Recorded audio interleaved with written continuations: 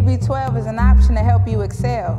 I'd rather you opt in because it's hard out there. Reality is those streets are a route to jail. See, me, I have a story to tell. I was a foster youth in the system as well. Statistics stated my only option was to fail. Family. Family are people who I'm really connected to, who I feel connected to, not necessarily blood, but that I have a certain connection with. What does family mean to me? Uh, it means um, connections, supportive relationships. To me, family is, whether it's blood or not, is um, a group of people who will be there for you, whether you're going through good times or bad times. It's just whenever you need them, they're there. Growing up, there was a lot of people um, that I thought were uncles or cousins, and turns out we have no blood relation whatsoever. And so I think that's when I really started recognizing that family is kind of whoever you make your, make as your family. I proved society wrong. I couldn't make it on my own. So I'm here to help encourage you to stay. I know you want everything to go your way, but in the real world, it doesn't work like that. You want a house, you need money to pay. So you need to be employed. I'm just saying I've been there, I'm still there. Yeah, I'm still there at that place, turning 24 in transition, no more aftercare admission. The support I'll be missing.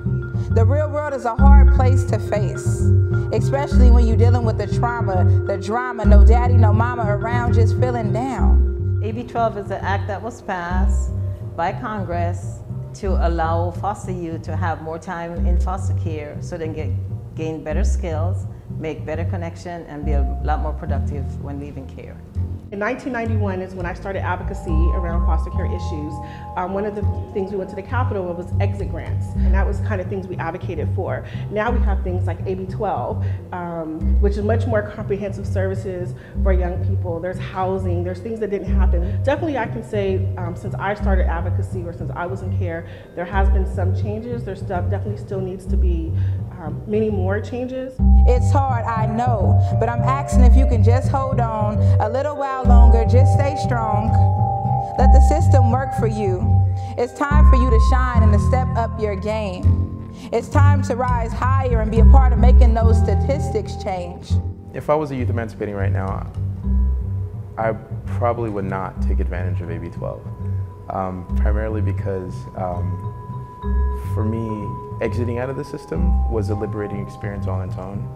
And um, having that safety net of having the post-emancipation services was enough so that if I, that it was enough for me in my county. I think I would stay in care only because I see, I'm just now starting to see how much resources I can get a, a hold of and why not, since I'm about to go to college, I can use all the funds, resources I can use.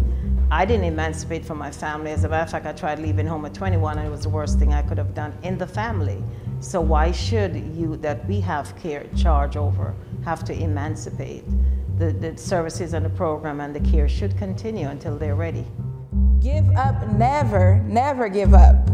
Prove to the world that foster youth can make it. It's easy to complain, your situation hard to explain, but opt in now if it doesn't work out. You always have the option to walk away. Allow AB12 to assist your dreams.